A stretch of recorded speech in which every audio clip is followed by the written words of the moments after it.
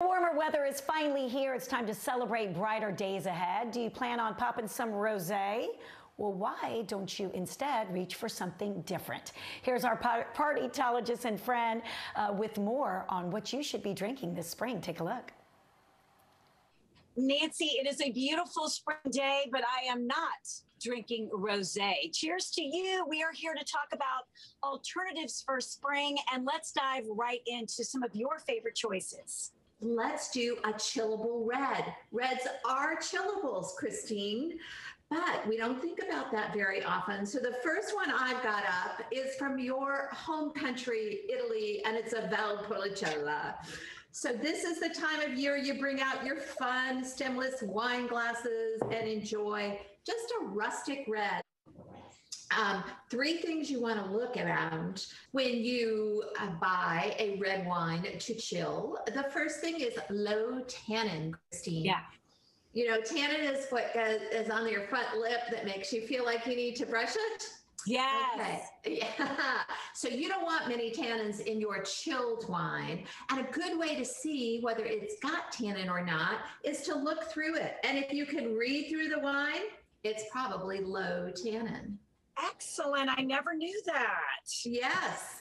So low tannin, great acidity. You want good acidity, not flabby wine. So good acidity means that it's going to go great with food. Okay. And then last but not least, you want bright fruit flavors because those bright fruit flavors are what we call fruit forward in wine yeah. words um, means that it's going to hold that fruit when it gets a little bit of chill. It's bright fruit flavors, kind of snappy in your glass. So this is a great one for a chill. About 50 to 55 degrees, which Christine, that means that you need to pop it in the fridge for about 45 minutes if you're just pulling it off your wine rack or if you've got it in your fridge, you need to pull it out about an hour ahead of time. Just needs to be kind of chilly on the bottle. I think my wine refrigerator settings are a little off. So we got to make sure that uh, on these warm days, uh, nothing's going to be better than having this just the perfect temperature. And next up, Nancy, I know is one of your favorite, a Beaujolais. I hope I am saying that okay.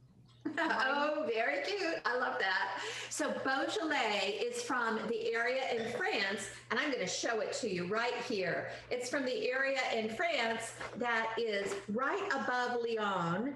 And that's the food capital of France. And so this wine goes really great with food. It's a light red. It's made with the Gamay grape.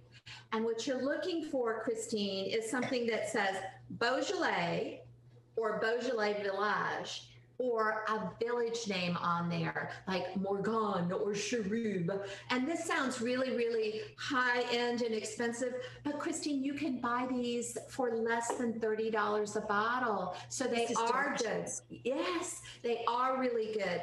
And um, Beaujolais is also made with a process that sounds, again, very wine snobby, but it's not. It's called carbonic maceration, which just means it's a natural wine. You've been hearing a lot about natural wines. Yeah. This one is a natural wine.